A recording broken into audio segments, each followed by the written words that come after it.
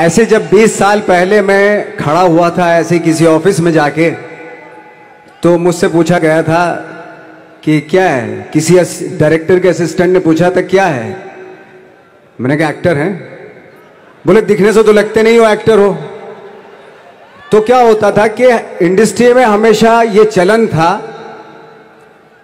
कि actor hero जो होता है वो छह फुट का होता है और गोरा होता है और लंबा चौड़ा बल्ले छल्ले होते हैं।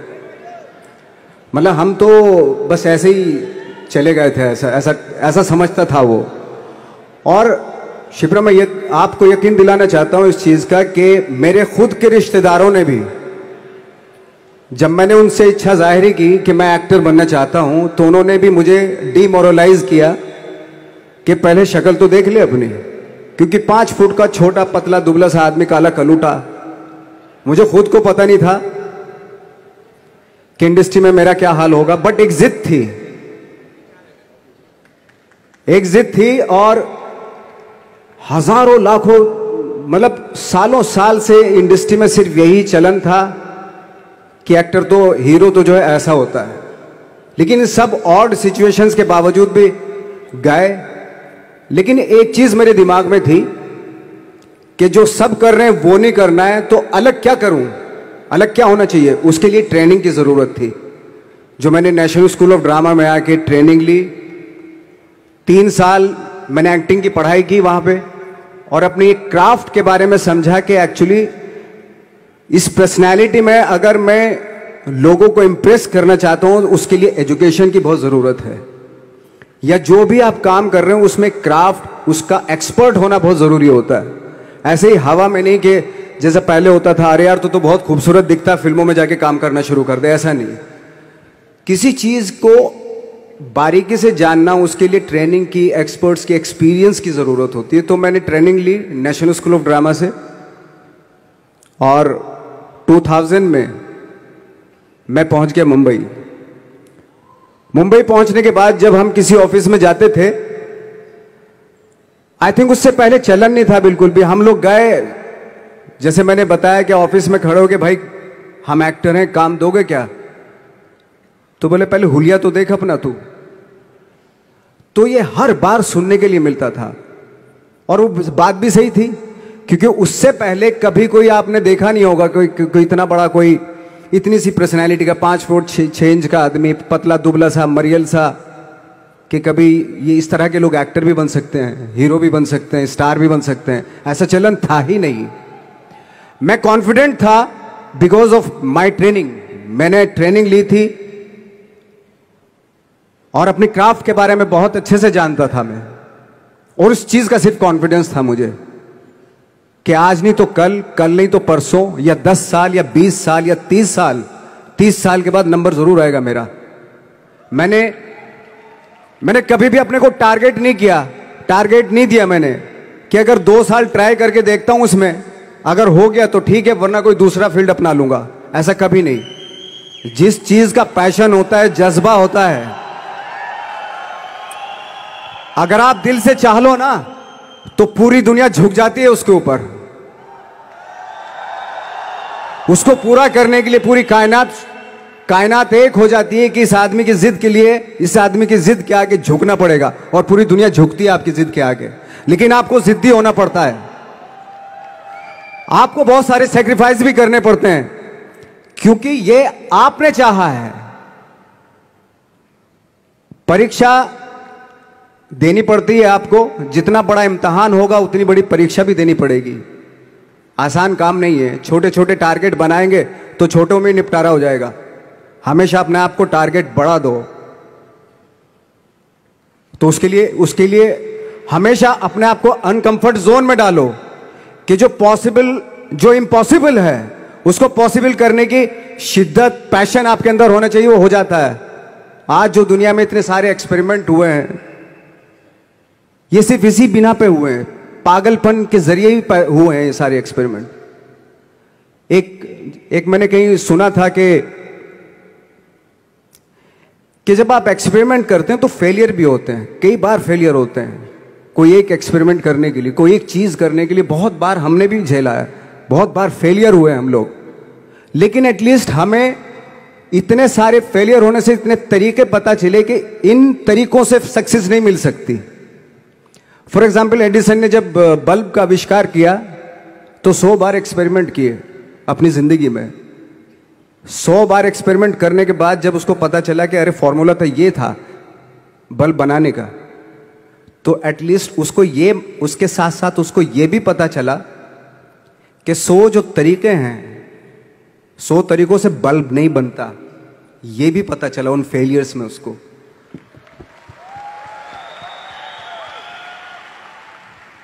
जब हम लोग मुंबई आए तो हमें मालूम था हमारे पास पर्सनैलिटी नहीं है, हमारे पास बैक नहीं है, या हमारे फादर दादा, परदादा तो फ़िल्म इंडस्ट्री में है नहीं, हम ही हैं। तो हमें क्या करना चाहिए? इसलिए लोगों के बीच में घुसे रहते थे, आम लोगों के बीच में घुसे रहते थे। उनका एक्सपीरियंस सुनते थे, उनको ऑब्ज़र्व करते थे। तो आई थिंक मेरे पास पंद्रह साल तक, दस साल, दस बारह साल तक कोई काम नहीं था। जैसे आपने बताया कि बहुत ही दस दस सेकंड के रोल करके घर में आके बैठ जाता, पूरे साल खाली बैठे रहते थे हम लोग।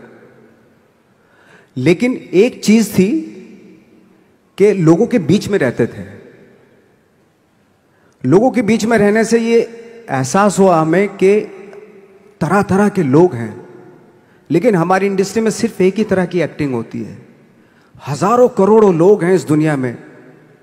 लेकिन एक्टिंग सिर्फ़ एक ही तरीके से होती है हमारे यहाँ। तो मुझे लगा, यार, ये मैं तो ट्रेन भी हूँ, मुझसे अपनी आर्ट भी आती है और हज़ारों लोगों को मैं ऑब्ज़र्व भी कर रहा हूँ। तो ये तो सबसे अच्छा सूत्र है ये तो सब, ये तो ये इससे तो मैं बहुत बहुत कुछ कर जाऊँगा।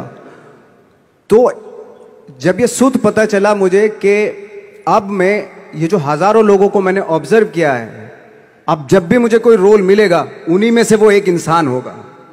उसी में वो ठाकरे बाड़ा साहब ठाकरे होंगे उसी में मंटो होगा उसी में गणेश गायतोंडे होगा उसी में फैजल खान होगा। उसी में माजूमदार साहब होंगे। तो इस तरह के ये कब हुआ? जब मैंने लोगों, हमने लोगों को ऑब्ज़र्व करना शुरू किया, लोगों के बीच में रहे। मैं पंद्रह साल के बाद जो मेरी लाइफ थी, जिसमें खाने तक को नहीं मिलता था, अब फॉर्चुनेट अपने आप को समझने लगा था कि थैंक गॉड कि मुझे ऐसे ऐसे लोगों के बीच में मुझे रहने का मौका मिला। तो कभी भी आई थिंक मुझे लगता है कि कभी भी जब आप स्ट्रगल कर रहे होते हैं ना, वो एक मौका होता है आपके पास, वो एक चांस होता है आपके पास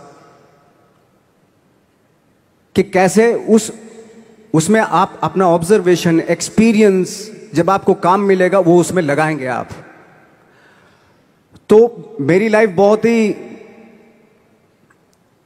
आज जब मैं सोचता हूँ कि यार ये तो बहुत ही अच्छा हुआ था, जो पंद्रह, दस, बारह साल मैंने बिना काम के गुजारे, जो लोगों के बीच में रहा था, मैं आज वो काम आ रहा है मेरे।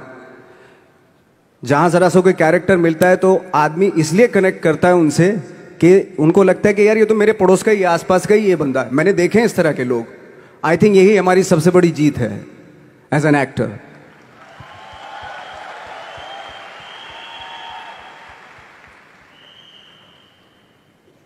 of course struggle में बहुत सारी चीज़ें सेक्रीफाइस करनी पड़ती हैं, क्योंकि खुजली आपको हुई है, आप ही को मिटानी पड़ेगी।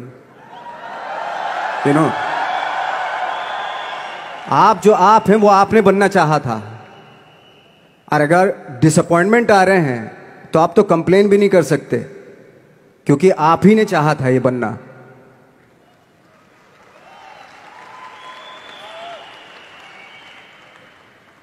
तो बस यही था कि 10-12 साल तक मैंने सोचा था 10-12 साल जब स्ट्रगल हो गए तो मेरे बहुत ज़्यादा वो भी हुआ कि यार छोड़ के चले जाते हैं, कुछ काम मिल नहीं रहा है, क्या हो रहा है, कुछ पता नहीं आई डोंट नो मिल पाएगा या नहीं मिल पाएगा।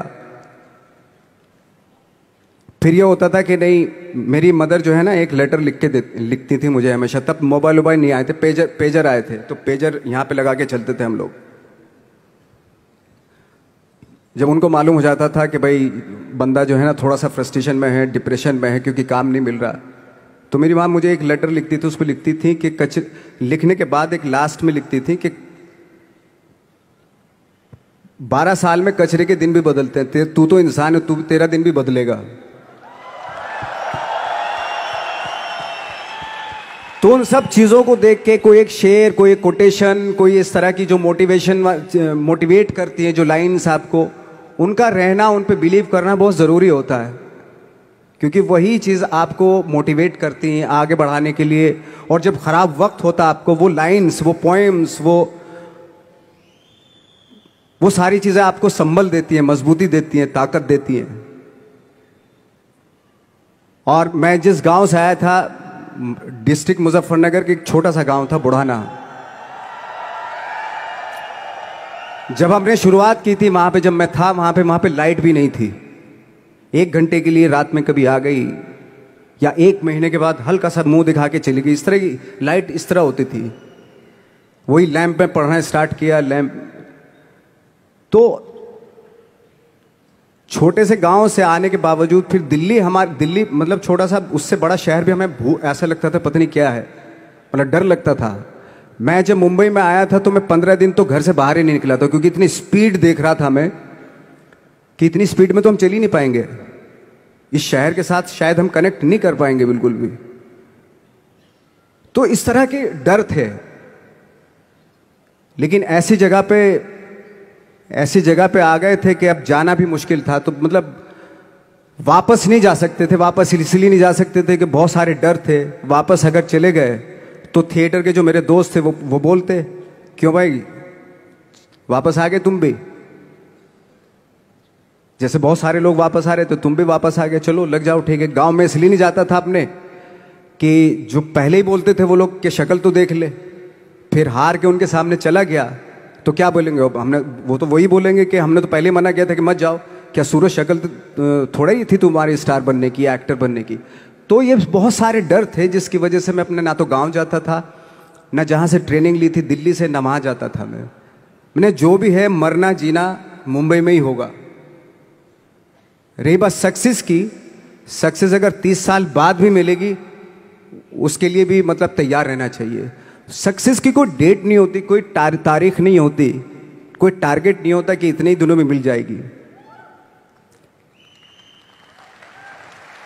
इंसान का काम होता है आई थिंक मुझे लगता है कि मेरे हिसाब से मुझे लगता है कि लाइफ ना हमेशा अपने आप को लाइफ में पुश करते रहो और पैशन पैशन के साथ जिस भी आप काम में हो, जो भी आप काम कर रहे हैं, उसमें पैशन पैशन के साथ लगे रहना बहुत ज़रूरी होता है।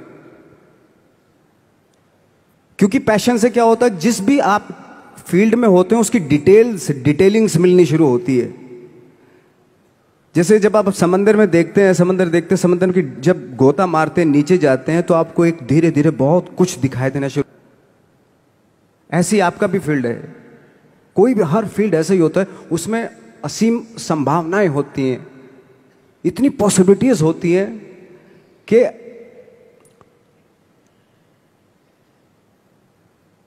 आई थिंक दुनिया का हर हर काम में इतनी पॉसिबल सिर्फ़ अगर एक दर्जी है, पेंट सीता है। एक हज़ार तरीके की पेंट सी सकता है वो, अगर वो चाहे तो।